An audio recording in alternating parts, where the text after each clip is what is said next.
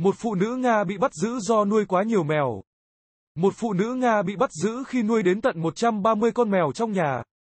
Có rất nhiều câu chuyện cười về những người chọn chăm sóc mèo cho đến hết đời. Nhưng ít ai ngờ rằng lại đến tình trạng như thế này. Mọi chuyện bắt đầu khi cách đây 4 năm, một con mèo hoang đang mang thai xuất hiện ở căn hộ của một người phụ nữ giấu tên ở Nga, bà đã nhận nuôi chú mèo nhỏ. Nhưng không ngờ khi những con mèo lớn lên và giao phối cận huyết cơn ác mộng đã bắt đầu.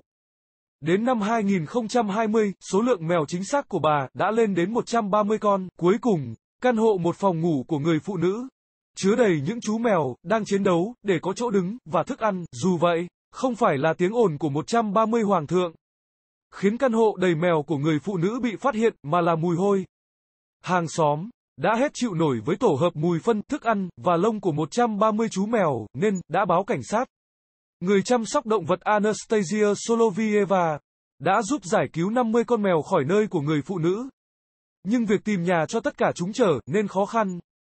Đồng nghiệp của cô Irina Mechedeva đã bị sốc khi nhìn thấy tình trạng trong căn hộ. Chúng tôi tìm thấy khoảng 130 con mèo bị bỏ đói, nhưng rất tình cảm. Tuy nhiên, tất cả đều ở trong tình trạng khủng khiếp. Mặc dù thực tế là họ có hành lang, nhà bếp và phòng ngủ, nhưng vẫn có quá nhiều mèo để sống.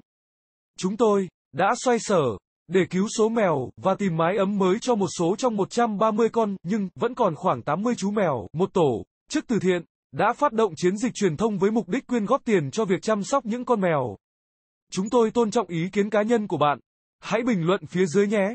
Trân trọng cảm ơn quý vị và các bạn đã quan tâm theo dõi. Xin hãy cho một lượt thích chia sẻ và đừng quên bấm nút theo dõi kênh xin chào và hẹn gặp lại.